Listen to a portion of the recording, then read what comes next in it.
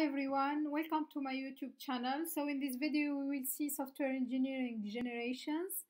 Uh, those generations are split into traditional uh, versus modern methods. So during the video we will not go in, de in, uh, in details with uh, those methods. We only uh, we will only talk about uh, the chronological appearance and the, the characteristics of those methods. So let's get started.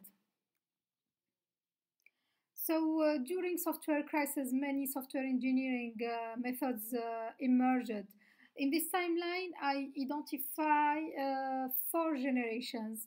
Uh, this identification uh, was performed using two criteria. The first criteria is the time of appearance of each generation, and the second criteria is the, the concepts brought with each generation.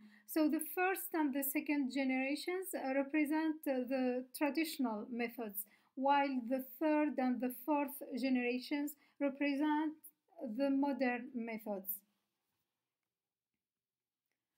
So now, if we want to talk about the characteristics of uh, traditional methods, we have to know that uh, those methods are plan driving. That means that we have to follow a project plan step by step, and we have to to predict all details of this project at the beginning of the process.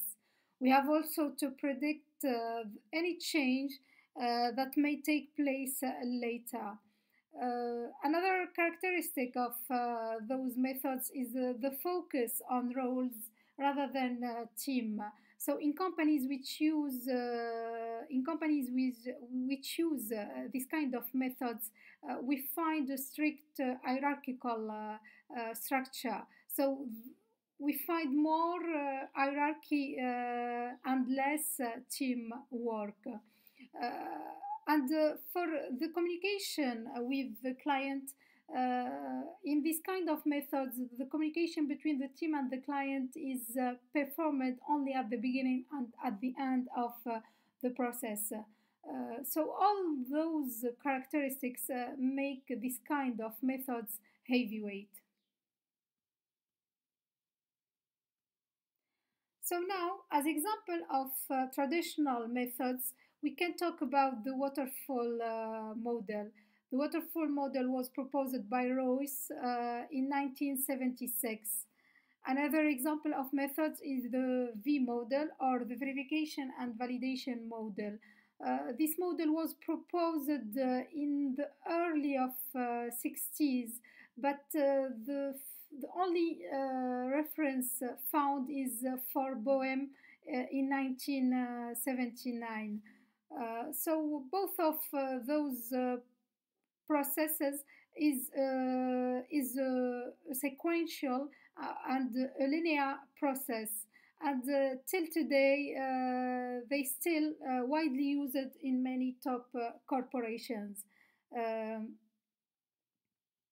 another example of traditional methods is was a period after the rise of object-oriented programming in 19 67 and uh, after the definition of abstract data type uh, those methods are the object-oriented methods such as the, the Booch method uh, proposed in 1986 uh, Rumbaugh method in 1990, uh, in 1990 and uh, Ivar Jacobson method in 1990 so this trio uh, had uh, unified uh, their approach to define the unified modeling language language the UML, which was standardized in 1997. Another uh, method, uh, another traditional uh, method is uh, the spiral model. This model is a risk-oriented model and was proposed by Boehm in 1986. So now if we, we have to talk about the, the model, about the characteristics of uh, modern generation, we have to know that uh, this kind of uh, methods uh, is uh, an iteration driving. That means that the project uh, is uh, split into many functionality and uh, to perform a function we have to, to use an iteration. So one iteration per function. Uh, another characteristic of uh, this generation is uh, is adaptative is adaptative rather than predictive. These kind of uh, methods are adaptative rather than predictive. That means that it's rapid. they are rapid and flexible methods which answer rapidly to requirement change. And about uh, interaction with uh, human interaction, those uh, this kind of uh, methods uh, uh, facilitate the interaction in the company and the interaction and the, the communication with the client. and we, we have a quick and an early and continuous feedback from the client. So all those uh, the characteristics make this kind of, uh, of methods uh, lightweight.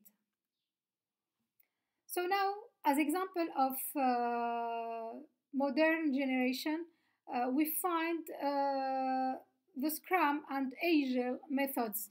The Scrum was proposed by Jeff Sutherland in 1995, and Agile was an effort of many pioneers.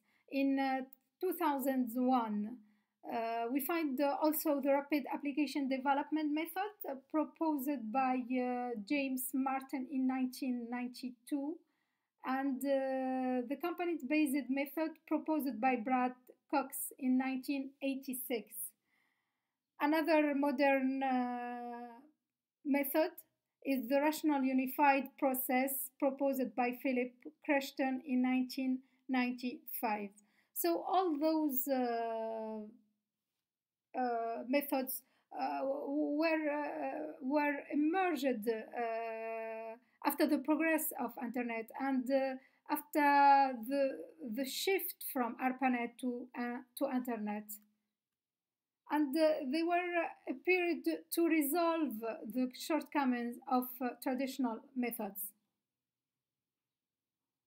Another example of, uh, of modern methods uh, and concerning regarding the fourth generation, uh, this generation was uh, a period after the spread of mobile devices and after the birth of Git and GitHub technologies and the, after the consolidation of activities into the cloud and, uh, and after uh, the full stack idea came or came into the play.